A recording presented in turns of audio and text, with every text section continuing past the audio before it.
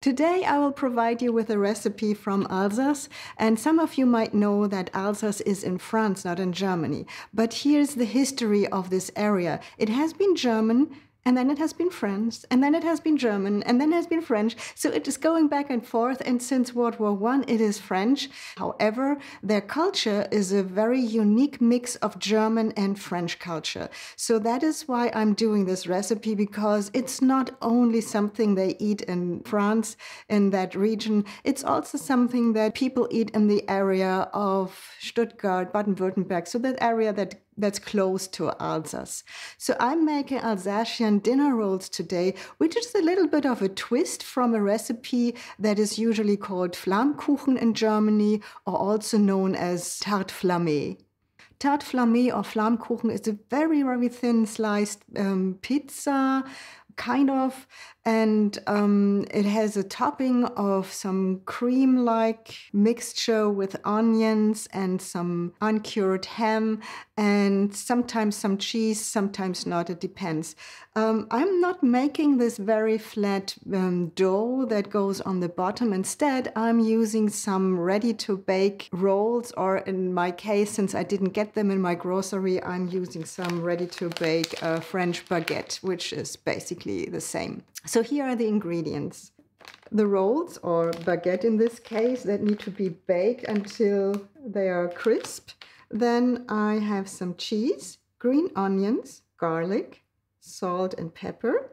And then you usually have some uncured ham that is something that I can't buy here. So prosciutto or pancetta are the things closest to that. So I'm using these, they are already diced.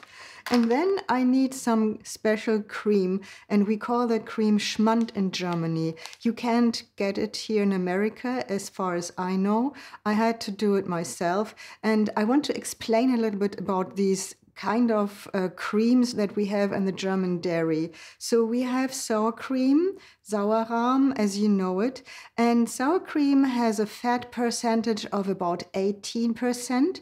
So it is suitable for a lot of things like dips. Um, it's not so good for cooking. And then we have Schmand, and that's what we're using today. Schmand has a fat contents of about 24%. And I will get to how I made this myself in a, in a minute. Um, let's just move on to the next kind of cultured cream that we Germans have. It's called creme fraiche, and it has about 30% of fat. And then Finally, we have cream double. Um, cream double is a cultured cream with about 40% of fat. So you see that different contents of fat in these cultured creams. And the more fat it contains, the more suitable it is for cooking. So, like if you are having a sauce and you want to add some fat or something creamy to it, you would be best off using some creme double or some creme fraiche, which I can sometimes get here in our grocery.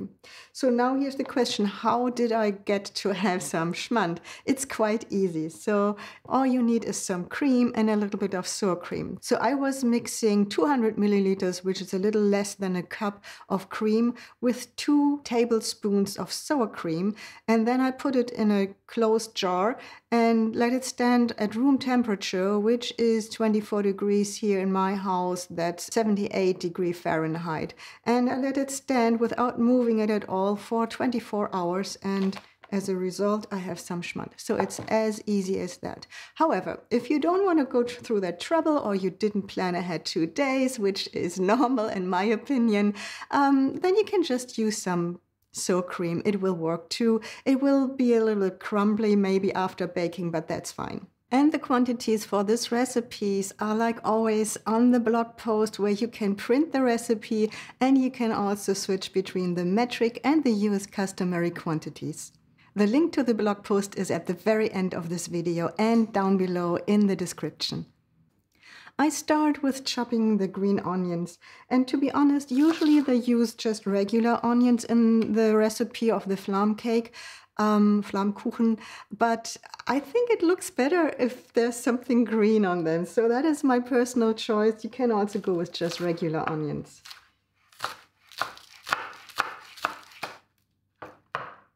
And these little ends from your green onions, you can just put in a small jar with some water and then I'll show you what happens. They simply grow back and then you can use them again. Put this in a bowl. Then I prepare the garlic.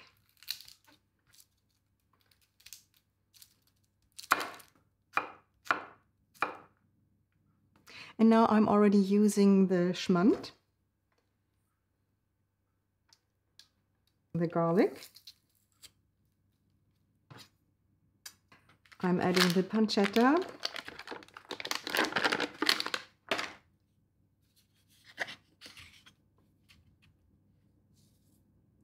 Salt, and I'll be a little bit careful with the salt because the pancetta already has some salt, so I have to see um, at what point it gets too much of course, the pepper.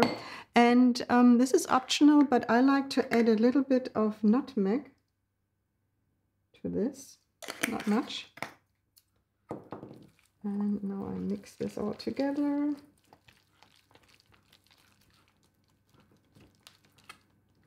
Some people also add some paprika, but I think that's not necessary, it's not my taste. So I set this aside. I will taste it in a few minutes when it's soaked through a little bit. Um, I will prepare the rolls, or in my case, the baguette. So since I have baguette instead of rolls, I'll just cut them in thirds so that they resemble rolls. If you can't get anything like that, you can also use some sliced bread like toast or something. Um, I cut these open.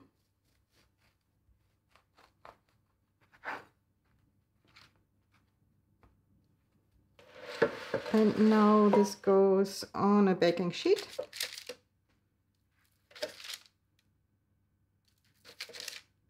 And let's see how our filling is doing. Mm -hmm. I want to add a little more salt and a bit more pepper.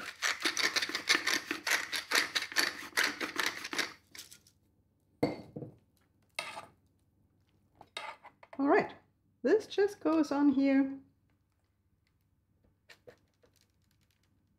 On top of this goes now the cheese. And you might wonder what kind of cheese is the best one. You can just use any cheese that is melting well.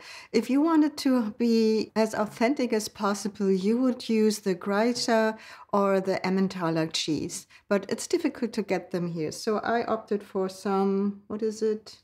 Easy melt cheese. Um, I think the best fit is a is a cheese that that really has a good taste by itself. Um, like mozzarella is not so suitable for that because it doesn't really have a strong taste. It's very mild. So in my opinion, having something with a little more character is probably the best here. And you can leave out the cheese entirely. That works too. By the way, this is also a great uh, recipe for a party if you want to prepare it ahead and then you just put it in the oven um, shortly before your guests arrive or while they are already there.